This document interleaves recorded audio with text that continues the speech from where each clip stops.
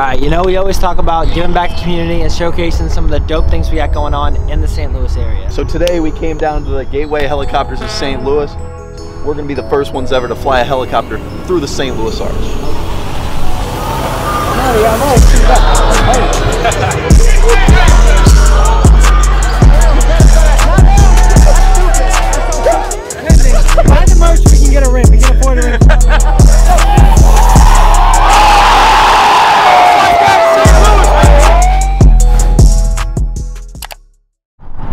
So after we were on the news, we had a lot of places reaching out to us. This place, the Gateway Helicopter Tours, is the one. Reached out to us, said they could give us a tour around the city in a helicopter. We were like, oh, that's a dope idea. We did not know it was about to be in the middle of a river on a boat.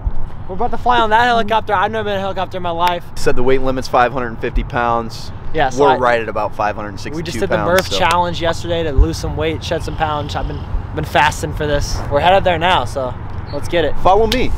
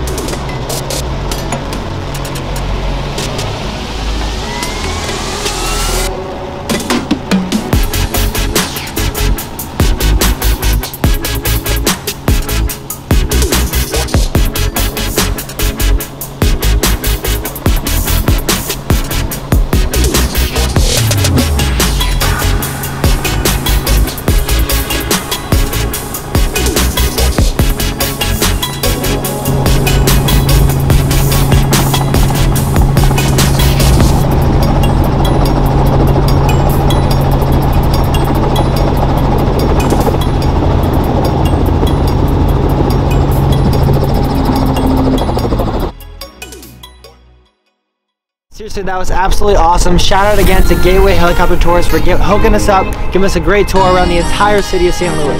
They did a great job making us feel safe. We'll drop the link in our description so you guys can check out St. Louis from above. Hey, DaGuys to the moon, and uh,